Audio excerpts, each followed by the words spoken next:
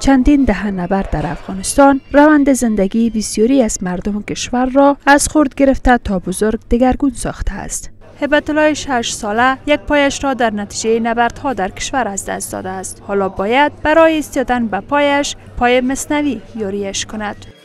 دا د ورځې لاس بجې جنگ او په دې جنگ زخمی شو ماته له کوره تلیفون راغی سیاله لږ زخمی شوی یو ماشومه بله مو سره جنگ افغانستان به گونه یعنی مستقیم و غیر مستقیم حتی بر کودکان پیش از تولد اثرهای زیانباری داشته که در برخی رویدادها به معلولیت آنان انجامیده است روزانه ما با تعداد ده الی 15 مریض نو پیش ما میایه که فلج دماغی می داشته باشه که از اثر امی مواد کیمیاوی با وجود می آید. از سوی هم صندوق پشتیبانی از کودکان سازمان ملل متحد از اوضاع زندگی کودکان در افغانستان نگرانی کرده و می‌گوید که کودکان در برابر مواد منفجر ناشده برجام مانده از جنگ آسیب پذیرتر هستند. بر بنیاد آمارهای این نهاد در شش ماه نخست سال روان میلادی 460 کودک از اثر نبردها جان باختند.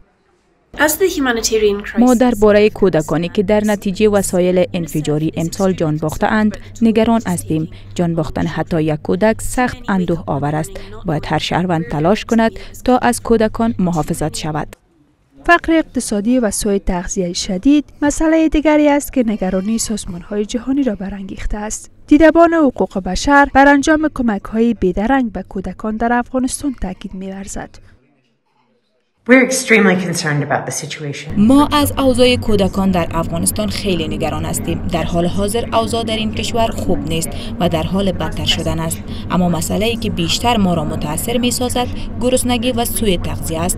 3.1 میلیون کودک در افغانستان به سوی تغذیه دچار شده اند که به گفته سازمان ملل یک میلیون آنان با خطر مرگ روبرو است در کنار نبردها سال هاست که فقر اقتصادی هم از مسئله بوده که سبب شده تا کودکان به کارهای شاقه رو بیاورند و از بهره آموزش پرورش بدور باشند.